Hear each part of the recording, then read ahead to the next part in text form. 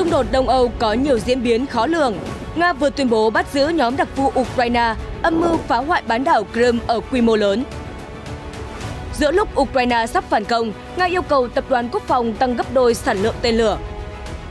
Sputnik đưa tin pháo tự hành tiên tiến của Đức loay hoay ở mặt trận Ukraine đầy bùn lầy. Ukraine yêu cầu Nhật Bản hỗ trợ phương tiện tác chiến điện tử để chống UAV của Nga. Mỹ nhìn thấy triển vọng kiến tạo hòa bình ở Ukraine của Trung Quốc, nhưng lưu ý một điều, đó là gì? Ở diễn biến khác, căng thẳng giữa Nga và phương Tây leo thang. Lính Mỹ có thể được triển khai đến quốc gia NATO nằm sát Nga. Quan hệ giữa Nga và Ba Lan nổi lửa, Moscow chỉ trích Warsaw hiếu chiến. Liên quan tình hình châu Á, Washington mở đại sứ quán tại nhiều đảo quốc Thái Bình Dương để cạnh tranh với Bắc Kinh. Lầu Năm Góc tiết lộ loại tàu ngầm hạt nhân sẽ cập cảng Hàn Quốc. Hàn Quốc đáp trả khi Nhật Bản phản đối chuyến thăm của quan chức Seoul đến đảo tranh chấp. Tất cả sẽ được gửi đến quý vị ngay sau đây.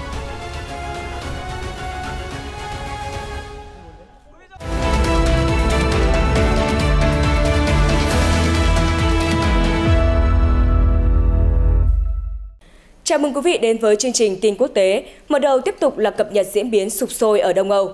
Thưa quý vị, hôm 3 tháng 5, Cơ quan An ninh Liên bang Nga FSB tuyên bố bắt giữ các thành viên trong mạng lưới phá hoại của Ukraine.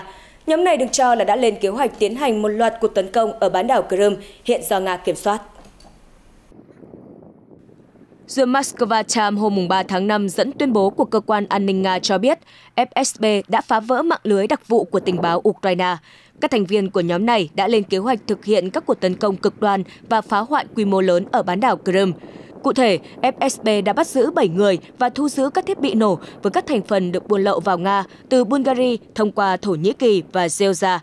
Theo FSB, nhóm phá hoại thậm chí đã lên kế hoạch ám sát các nhà lãnh đạo chính trị, bao gồm người đứng đầu bán đảo Crimea do Moscow bổ nhiệm, ông Sergei Aksyonov.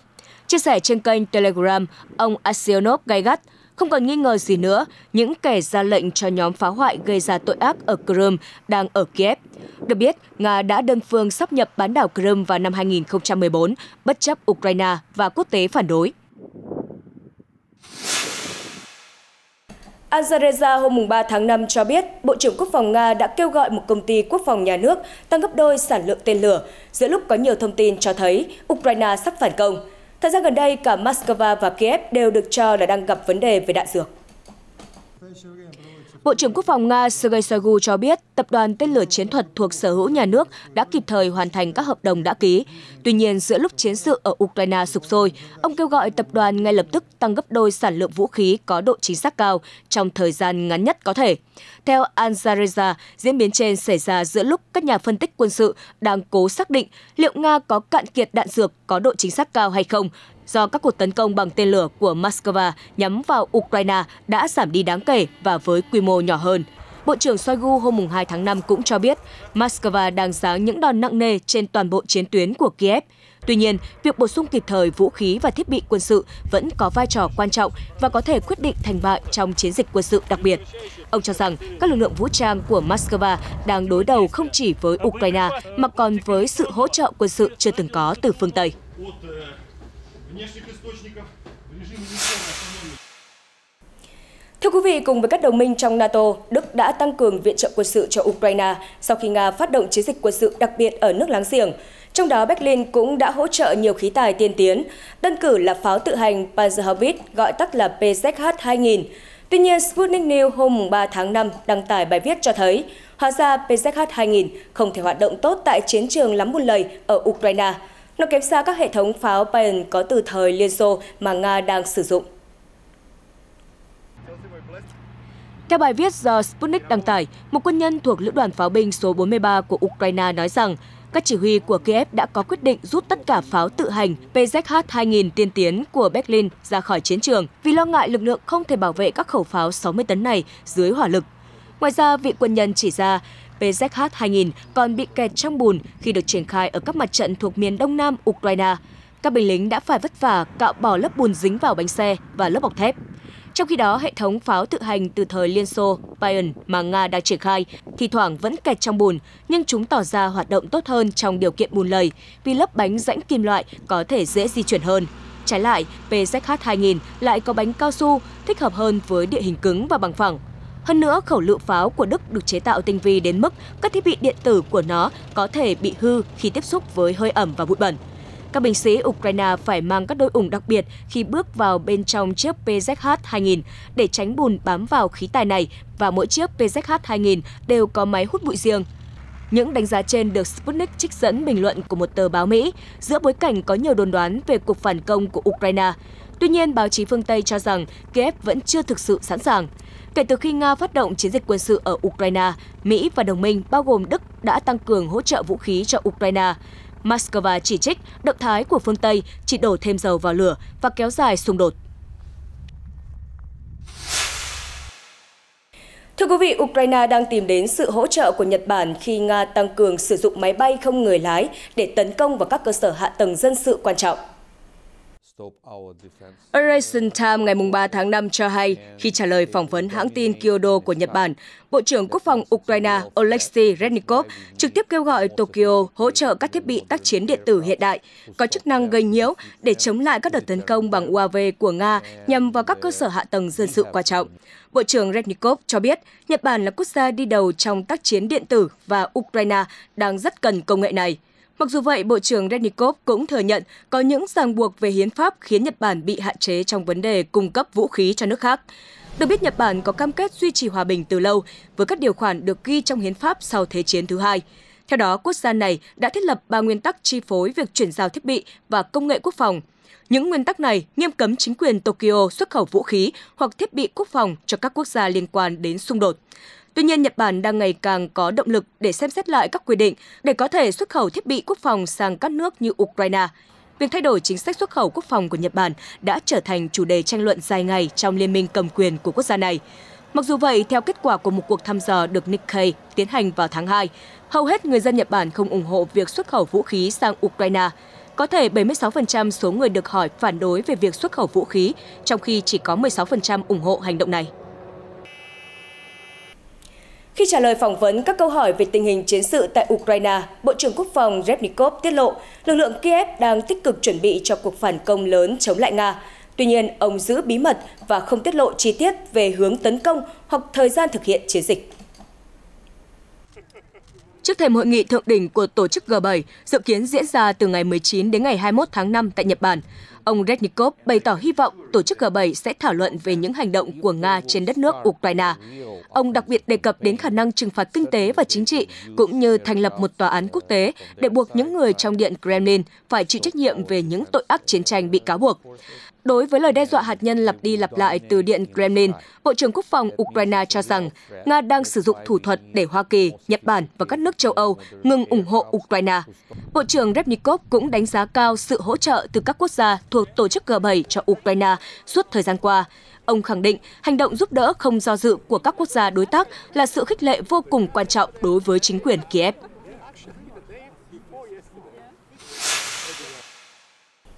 Thư ký Hội đồng An ninh Nga Nikolai Patrushev mới đây cho rằng Mỹ vốn không có kế hoạch bảo vệ và duy trì sự độc lập của Ukraine. Ngày nay, Nhà Trắng muốn thúc đẩy cuộc chiến với Nga cho đến người Ukraine cuối cùng. Thông điệp trên được ông Patrushev đưa ra khi trả lời phỏng vấn nhật báo Nga Investia.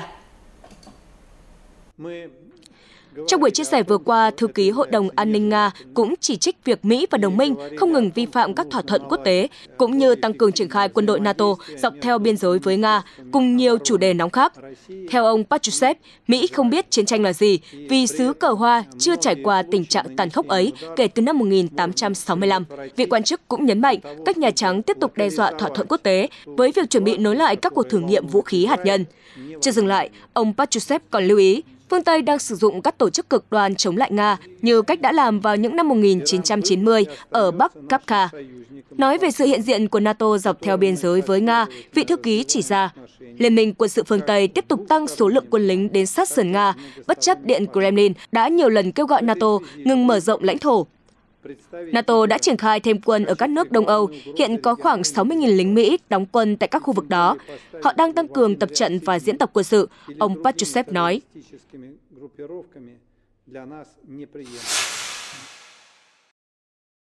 Trái với đánh giá của Nga, Mỹ mới đây tuyên bố sẵn sàng hoan nghênh nỗ lực thúc đẩy hòa bình ở Ukraine của Trung Quốc. Trong đó, Washington lưu ý tất cả sáng kiến nên được xây dựng trên cơ sở khôi phục các nguyên tắc cơ bản về đảm bảo toàn vẹn lãnh thổ, chủ quyền và độc lập của Ukraine. Thông điệp trên được Ngoại trưởng Hoa Kỳ Antony Blinken đưa ra trong một cuộc phỏng vấn với Fox News khi được hỏi liệu Mỹ có sẵn sàng để Trung Quốc trở thành bên kiến tạo hòa bình cho xung đột ở Ukraine hay không. Đặc biệt là sau khi lãnh đạo Ukraine và Trung Quốc đã có cuộc điện đàm lần đầu tiên kể từ khi chiến sự bùng nổ hồi tháng 2 năm ngoái. Ông Blinken trả lời rằng Mỹ sẵn sàng hoan nghênh mọi quốc gia tham gia vào nỗ lực thúc đẩy hòa bình ở Ukraine một cách có trách nhiệm. Ngoại trưởng Hoa Kỳ lưu ý, tiến trình hòa giải nên diễn ra theo một cách tiếp cận hợp lý. Trước hết là phải công nhận sự toàn vẹn lãnh thổ, chủ quyền và độc lập của Ukraine. Ông nhấn mạnh, mọi thỏa thuận hòa bình đều phải lấy yếu tố đó làm nền tảng. Bên cạnh đó, điều rất quan trọng là các nước tham gia thúc đẩy hòa bình phải trực tiếp trao đổi để nắm được nguyện vọng của Ukraine. Được biết, Tổng thống Ukraine Volodymyr Zelensky đã có cuộc điện đàm kéo dài một giờ với Chủ tịch Trung Quốc Tập Cận Bình vào ngày 26 tháng 4. Sau cuộc trao đổi, Bộ Ngoại giao Ukraine không loại trừ vai trò hòa giải của Trung Quốc trong việc chấm dứt xung đột giữa Kiev và Moscow. Liên quan đến sáng kiến ngũ cốc ở Biển Đen, Bộ trưởng Quốc phòng Thổ Nhĩ Kỳ Hulusi Akar cho biết Ankara có kế hoạch tổ chức một cuộc họp với các quan chức Nga và Ukraine tại Istanbul vào cuối tuần này để thảo luận về việc gia hạn thỏa thuận ngũ cốc ở Biển Đen. Hãng thông tấn nhà nước Anadolu dẫn lời ông Atka cho biết, các thứ trưởng quốc phòng của ba nước sẽ nhóm họp tại Istanbul vào ngày 5 tháng 5. Trong đó, cả Nga và Ukraine đều có vẻ ủng hộ hướng gia hạn thỏa thuận xuất khẩu ngũ cốc.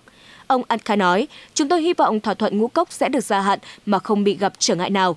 Điều quan trọng là tránh một cuộc khủng hoảng lương thực toàn cầu. Thông tin trên được Bộ trưởng Quốc phòng Thổ Nhĩ Kỳ đưa ra sau khi Điện Kremlin hồi tuần trước cho rằng việc gia hạn thỏa thuận ngũ cốc là điều khó xảy ra.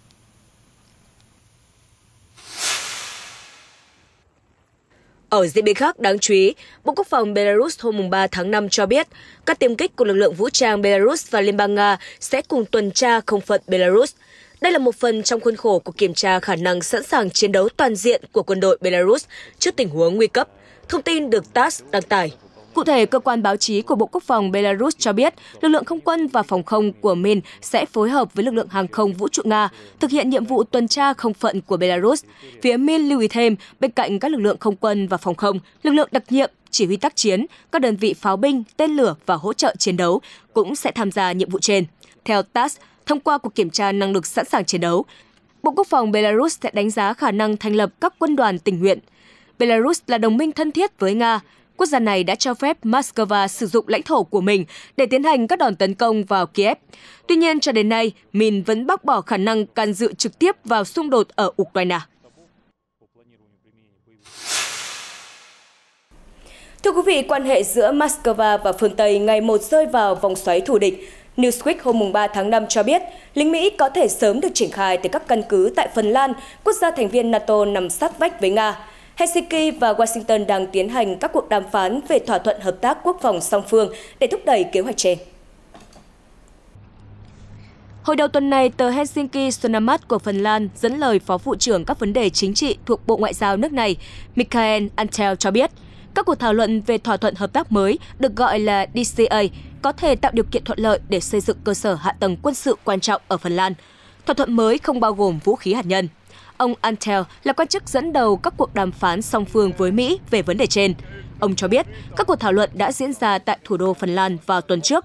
Thỏa thuận mới được kỳ vọng sẽ góp phần tăng cường tư cách thành viên NATO của Phần Lan. Vị quan chức nói, điều quan trọng nhất là thỏa thuận cho phép Phần Lan hợp tác với Mỹ để ứng phó với mọi tình huống an ninh, kể cả trong thời gian ngắn. Các cuộc thảo luận đã diễn ra từ mùa thu năm ngoái. Việc Phần Lan trở thành thành viên NATO sẽ không làm giảm tầm quan trọng của quan hệ hợp tác song phương với Mỹ thậm chí còn mở ra những cơ hội mới. Hoa Kỳ cũng đang thảo luận về thỏa thuận DCA với Thụy Điển và Đan Mạch. Phát ngôn viên Bộ Ngoại giao Mỹ Ned Price hồi tháng 1 cho biết những thỏa thuận như vậy sẽ làm sâu sắc thêm quan hệ đối tác an ninh chặt chẽ của Mỹ với các nước, thúc đẩy hợp tác trong các hoạt động đa phương và củng cố an ninh xuyên Đại Tây Dương.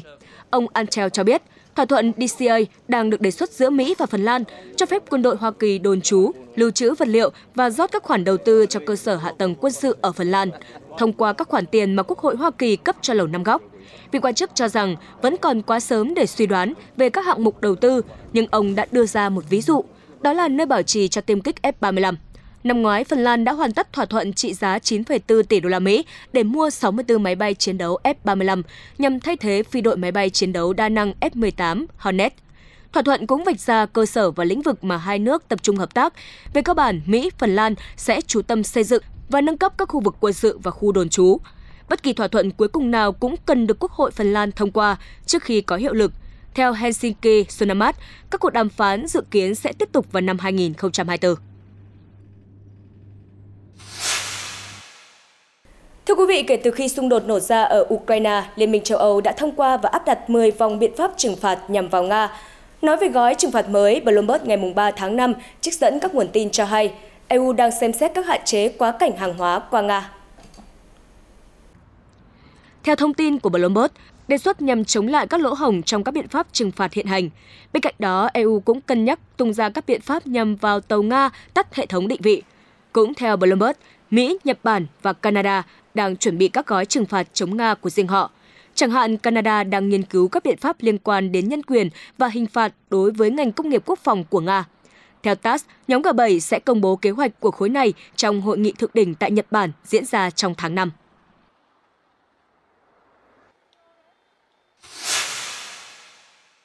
Ở diễn biến khác, quan hệ giữa Nga và Ba Lan tiếp tục căng thẳng sau vụ Warsaw tịch thu trường học của Đại sứ quán Nga. Vụ tranh chấp đã khiến quan hệ giữa hai quốc gia vốn đã không hòa hảo, giờ lại thêm tồi tệ. Washington Post hôm 3 tháng 5 cho biết Bộ Ngoại giao Nga đã triệu tập đại biện lâm thời của Ba Lan tại Moscow để nêu thông điệp phản đối.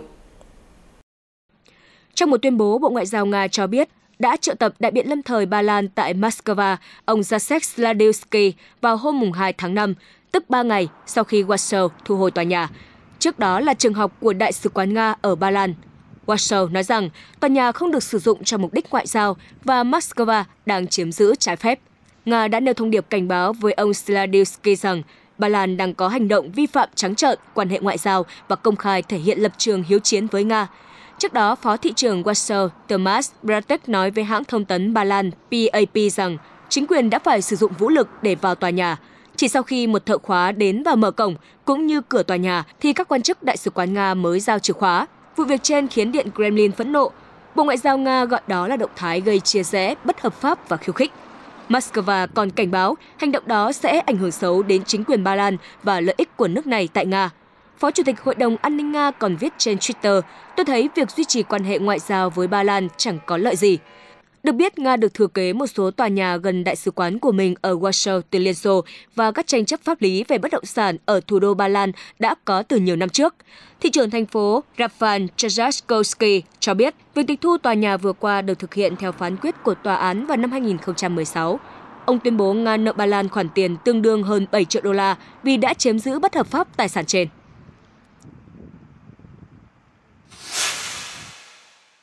Chuyển sang các tin tức liên quan đến khu vực châu Á-Thái Bình Dương. Thưa quý vị, Bộ Ngoại giao Hoa Kỳ cho biết Mỹ chuẩn bị mở một đại sứ quán mới tại Tonga trong tháng này để tăng cường sự hiện diện ngoại giao ở khu vực Thái Bình Dương và chống lại sức ảnh hưởng ngày càng tăng từ Trung Quốc. Hãng tin Nikkei Asia hôm 3 tháng 5 cho hay, khi phát biểu trước Ủy ban Đối ngoại Thượng viện Mỹ, trợ lý Ngoại trưởng Daniel Crittenbrink cho biết Ngoài đại sứ quán mới tại Tonga, Hoa Kỳ đang tiếp xúc để mở đại sứ quán tại Kiribati, một quốc gia khác tại khu vực Đông Á. Vào tháng trước, Bộ Ngoại giao Hoa Kỳ cũng thông báo đang lên kế hoạch mở một đại sứ quán ở Vanuatu. Theo Nikkei Asia, Hoa Kỳ đã thiết lập quan hệ ngoại giao với quốc đảo Vanuatu, nhưng mối quan hệ này đang được xử lý bởi các nhà ngoại giao Mỹ có trụ sở tại Papua New Guinea. Ngoài ra, Hoa Kỳ đã mở lại đại sứ quán tại quần đảo Solomon trong năm nay sau 30 năm vắng bóng. Mặc dù vậy, vào tháng 3, quần đảo Solomon tuyên bố đã trao một hợp đồng trị giá hàng triệu đô la cho một công ty nhà nước Trung Quốc để nâng cấp một cảng quốc tế ở Honiara. Được biết, từ khi quần đảo Solomon ký hiệp ước an ninh với Bắc Kinh vào năm ngoái, Hoa Kỳ và các đồng minh như Úc và New Zealand từng bày tỏ lo ngại Trung Quốc đang có tham vọng xây dựng một căn cứ hải quân trong khu vực. Trước những động thái của Trung Quốc, Hoa Kỳ đang làm việc để gia hạn các thỏa thuận với quần đảo Marshall, Palau và liên bang Micronesia Cụ thể, Mỹ sẽ giữ trách nhiệm bảo vệ các quần đảo và giành độc quyền tiếp cận với các khu vực rộng lớn của Thái Bình Dương. Theo đó, chính quyền Tổng thống Biden cần viện trợ hơn 7 tỷ đô la cho ba quốc đảo trong hai thập kỷ tới. Đây được xem là yếu tố then chốt để bảo vệ ba quốc gia khỏi tầm ảnh hưởng ngày càng tăng của Trung Quốc. Bên cạnh đó, Mỹ cũng đang lên kế hoạch cho chuyến thăm của Tổng thống Biden đến Papua New Guinea vào ngày 22 tháng 5 như một thông điệp nhằm củng cố những cam kết của Mỹ với khu vực Thái Bình Dương. Liên quan tình hình bán đảo Triều Tiên, Bộ Ngoại giao Mỹ tái khẳng định một tàu ngầm hạt nhân của Hoa Kỳ sẽ đến thăm Hàn Quốc theo thỏa thuận vào tuần trước giữa lãnh đạo hai quốc gia nhằm tăng cường năng lực răn đe và chống lại các mối đe dọa từ Bình Nhưỡng.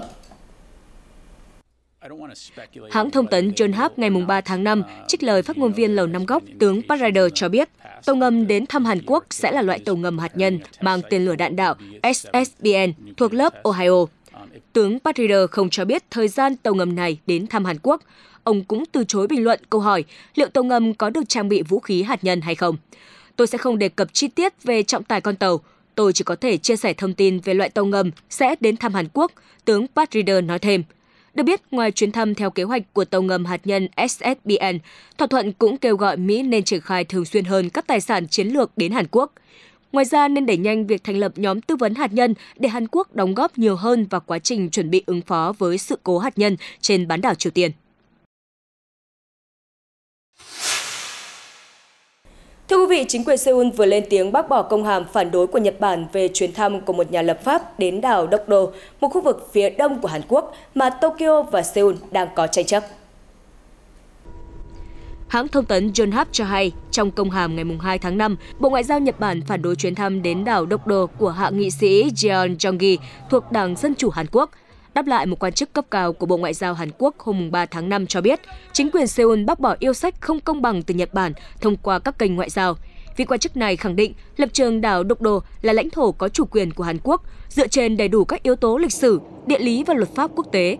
Được biết, đảo Độc Đô từng là thuộc địa của Nhật Bản trong giai đoạn từ năm 1910 đến năm 1945. Sau khi Thế chiến thứ hai kết thúc, Hàn Quốc tuyên bố kiểm soát hòn đảo này từ năm 1952. Vì các hiệp ước sau Thế chiến không nhắc đến hòn đảo này, nên Nhật Bản vẫn khẳng định đảo Độc Đô thuộc quyền kiểm soát của Tokyo, làm xảy ra những tranh chấp kéo dài trong khu vực.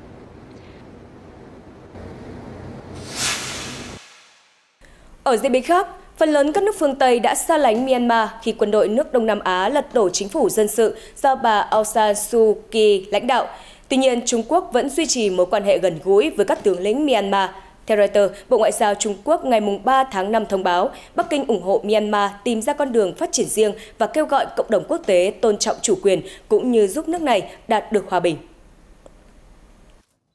Trong tuần này, Ngoại trưởng Trung Quốc Tần Cương đã đến thăm Myanmar gặp Thống tướng Min Aung Hlaing. Đây là chuyến thăm hiếm hoi của một vị quan chức ngoại giao cấp cao đến quốc gia Đông Nam Á này. Trung Quốc ủng hộ Myanmar tìm kiếm con đường phát triển riêng với các đặc điểm phù hợp với điều kiện quốc gia, Bộ Ngoại giao Trung Quốc trích lời Ngoại trưởng Tần Cương cho hay, Trung Quốc ủng hộ Myanmar thúc đẩy quá trình chuyển đổi chính trị và ủng hộ các bên liên quan giải quyết các khác biệt, cũng như tìm kiếm hòa giải trong khuôn khổ hiến pháp và pháp luật, ông Tần Cương nói thêm. Theo vị quan chức Trung Quốc, cộng đồng quốc tế nên tôn trọng chủ quyền của Myanmar và đóng vai trò tích cực trong việc giúp nước này đạt được hòa bình và hòa giải. Myanmar đã chìm trong bạo lực kể từ sau vụ đảo chính vào tháng 2 năm 2021 những nỗ lực của các nước láng giềng Đông Nam Á để tạo kênh đối thoại giữa chính quyền quân sự và phe nổi dậy vẫn chưa đạt được kết quả khả quan nào. Trung Quốc là khách hàng chính mua tài nguyên của Myanmar, bao gồm ngọc bích, thiếc và gỗ. Ngược lại, nước này thỉnh thoảng phải tiếp nhận người tị nạn tràn qua biên giới do giao tranh giữa quân nổi dậy và lực lượng chính phủ Myanmar. Về phát triển kinh tế, ông Tần Cương khẳng định Trung Quốc sẽ đẩy mạnh đầu tư liên quan đến hành lang kinh tế Trung Quốc-Myanmar và thực hiện các dự án về nông nghiệp, giáo dục và chăm sóc sức khỏe. Ngoại trưởng Trung Quốc cũng cho biết nước này ủng hộ Myanmar cải thiện quan hệ với nước láng giềng Bangladesh. Theo đài truyền hình MRTV của Myanmar, các cuộc thảo luận còn bao gồm tăng cường thương mại biên giới và hợp tác về năng lượng.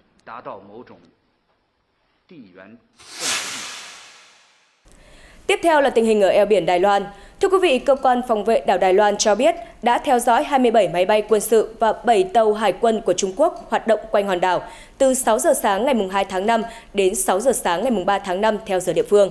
Trong số đó có 13 máy bay đã vượt qua đường trung tuyến trên eo biển Đài Loan hoặc tiến vào khu vực phía Tây Nam, Đông Nam và Đông Bắc vùng nhận dạng phòng không của hòn đảo. Thông tin được Taiwan News đăng tải.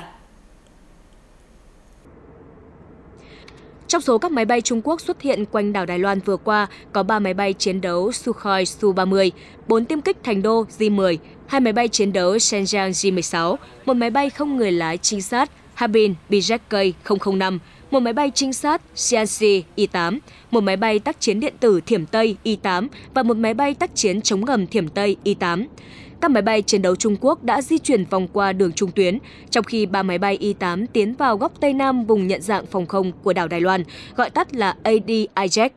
Đáng chú ý, máy bay không người lái BJK-005 đã tiến vào góc Tây Nam ADIZ, sau đó hướng về phía Đông Nam, Đông, Bắc và Tây Bắc của ADIZ. Cơ quan phòng vệ Đài Loan đã theo dõi tình hình và phản ứng bằng cách điều máy bay tuần tra chiến đấu cùng tàu hải quân và triển khai hệ thống tên lửa phòng không. Trung Quốc luôn xem Đài Loan là một tỉnh chờ thống nhất và không loại trừ khả năng thu hồi bằng vũ lực nếu cần. Bắc Kinh cũng nhiều lần yêu cầu các lực lượng ly khai không bắt tay với thế lực nước ngoài đòi độc lập cho hòn đảo. Thưa quý vị, thời gian đi vào hoạt động của dự án thủy điện lớn nhất nước Úc có thể bị trì hoãn đến năm 2028. Đây được xem là một bước lùi đối với ngành năng lượng của xứ sở chuột túi, khi chính phủ hy vọng năng lượng tái tạo sẽ sớm đáp ứng nhu cầu cả nước và thay thế các nhà máy điện than. Reuters ngày 3 tháng 5 cho hay, chính phủ Úc lên kế hoạch dự án Snowy 2.0 sẽ đi vào hoạt động vào năm 2021, nhưng thời hạn đã bị đẩy lùi một lần sang năm 2026. Theo thông báo mới nhất, đến cuối tháng 12 năm 2028, dự án mới có thể cung cấp dòng điện đầu tiên. Được biết, việc xây dựng dự án Snowy 2.0 bị tạm dừng vào tháng 3 sau một vụ sạt lở đất.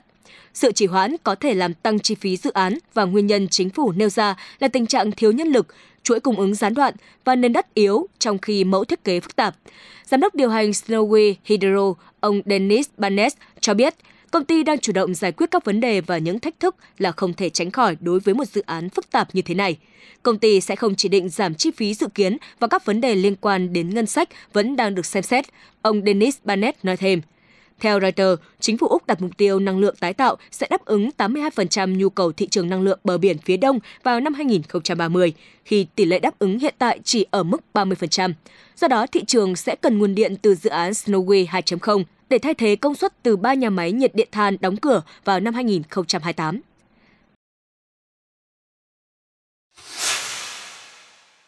TikTok hôm 2 tháng 5 cho biết ông Eric Han, người đứng đầu bộ phận đảm bảo an toàn dữ liệu tại Mỹ, sẽ rời công ty từ ngày 12 tháng 5, giữa lúc ứng dụng này đối mặt với mối đe dọa từ lệnh cấm của Hoa Kỳ.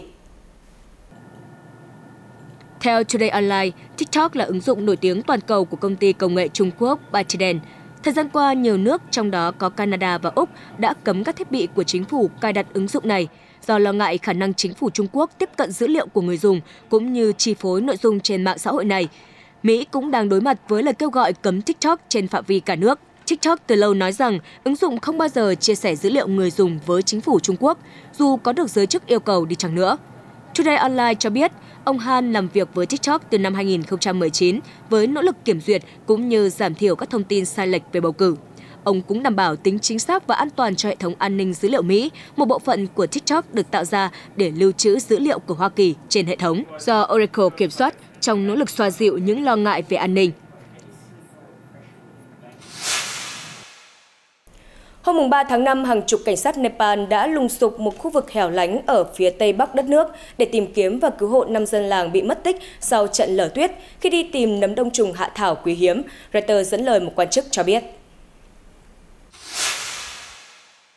Ở Indonesia, 21 con rùa biển xanh có nguy cơ tuyệt chủng đã được cảnh sát nước này giải cứu khỏi tay của một kẻ săn trộm. Những con vật này đang tạm thời ở trong một trung tâm bảo tồn trước khi được thả về môi trường tự nhiên. Lực lượng chức năng ở đảo Bali đã thực hiện cuộc đột kích vào nhà của một người đàn ông địa phương 46 tuổi, sau khi họ nhận được nhiều phản hồi từ người dân về việc nghi ngờ đối tượng buôn bán trái phép rùa để lấy thịt. Cảnh sát cho biết họ đã tìm thấy nhiều con rùa với các kích thước khác nhau trong một bể chứa. Người đàn ông hiện đối mặt với bản án 5 năm tù giam cùng khoản tiền phạt hàng trăm triệu rupee, ước tính tương đương gần 6.800 đô la Mỹ. Đầu năm nay, Hải quân Indonesia đã giải cứu được 43 con rùa khác khỏi tay những kẻ săn trộm trong một cuộc tuần tra định kỳ trên vùng biển đảo Bali. Rùa xanh là một trong những loài rùa biển lớn nhất thế giới. quần thể loài này đã giảm đáng kể trong những năm gần đây do nạn săn bắn, bị mất nơi làm tổ hay vướng vào các ngư cụ. Rùa biển xanh cũng là nạn nhân của cuộc khủng hoảng ô nhiễm rác thải nhựa đại dương vốn đang ngày càng nghiêm trọng. Những con rùa sẽ không thể sống sót nếu ăn phải một lượng lớn nhựa. Gần đây, các đội lặn ở Croatia đã tham gia vào nỗ lực làm sạch các vùng nước nông quanh đảo Mizet thuộc biển Adriatic của nước này nhằm giảm thiểu tình trạng ô nhiễm biển. Họ đã trục vớt được hơn một tấn rác thải. Đảo Mojet nằm ở phía tây bắc thành phố du lịch nổi tiếng Dubrovnik. Theo thợ lặn Matko Pojatina, nơi này đóng vai trò như một con đập tự nhiên, cuốn rác thải dưới biển từ phía nam lên phía bắc – như một phần trong nỗ lực làm sạch biển, các thợ lặn sẽ thu gom rác thải, phân loại chúng và bỏ vào các túi có màu sắc khác nhau. Hầu hết rác được thu lượm là thủy tinh và nhựa, một số khác là lốp xe ô tô, gỗ và kim loại phế liệu. Mặc dù hoạt động làm vệ sinh biển được tiến hành thường xuyên, tuy nhiên theo nhà khoa học Pero Tuman, vấn đề ô nhiễm sẽ không thể giải quyết cho đến khi xác định được nguồn rác thải ra biển Adriatic. Vị chuyên gia đồng thời nhấn mạnh về tầm quan trọng của việc thiết lập một kho dữ liệu chứa số lượng và loại rác được thu gom từ đáy biển – Điều này sẽ đóng vai trò quan trọng, hỗ trợ thiết kế các chính sách giảm thiểu và ngăn ngừa ô nhiễm biển. Tin tức vừa rồi cũng đã kết thúc bản tin ngày hôm nay. Cảm ơn quý vị và các bạn đã quan tâm theo dõi. Xin kính chào tạm biệt và hẹn gặp lại trong các chương trình lần sau.